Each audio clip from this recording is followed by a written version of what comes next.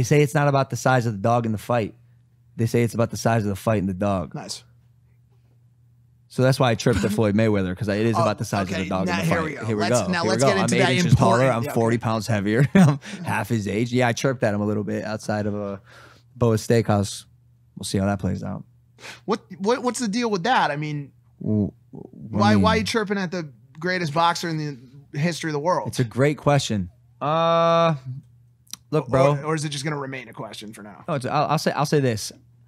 I'm here to entertain and put on the greatest shows you've ever seen at the highest level, time and time and time again. And as a 25 year old uh, digital based entertainer, Floyd Mayweather versus Logan Paul could be one of the most historical fights ever. Strictly because it's never been done before and nothing like this will ever happen again. Oh again. yeah. No, I say it's the biggest fight of uh, twenty of twenty twenty one if it happens right off the bat. If it happens in January, there's no bigger fight. I- who are they gonna who are they who are they gonna who are they gonna pick? That could draw that that could draw that level of viewership. Fury, Anthony Joshua. Fury Anthony Joshua. Look, look, look. To- Second to- biggest fight.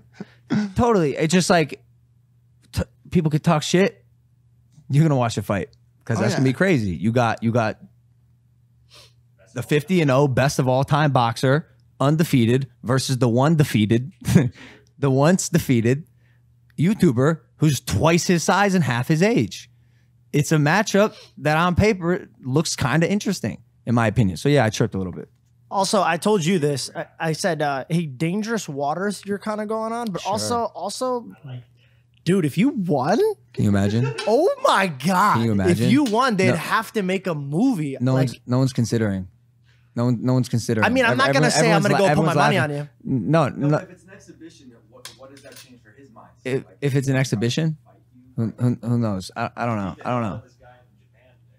Yeah, yeah, he's he's big into the exhibition fights. He 'Cause made they're he big made he made a comment They're like this. money. He made a comment like this. Yo, if I like boxing and I want to go like basically spar someone for some cash, like why not fucking do it? Like it'll be a great show. Obviously, I'll train my fucking ass off, and I'm I really do believe if I connect with the right punch, and you can't tell me it's impossible, it'll be game over. yeah, I agree with that. But I but One I also dude. but I also fight. It's a fight. Anything can fucking happen.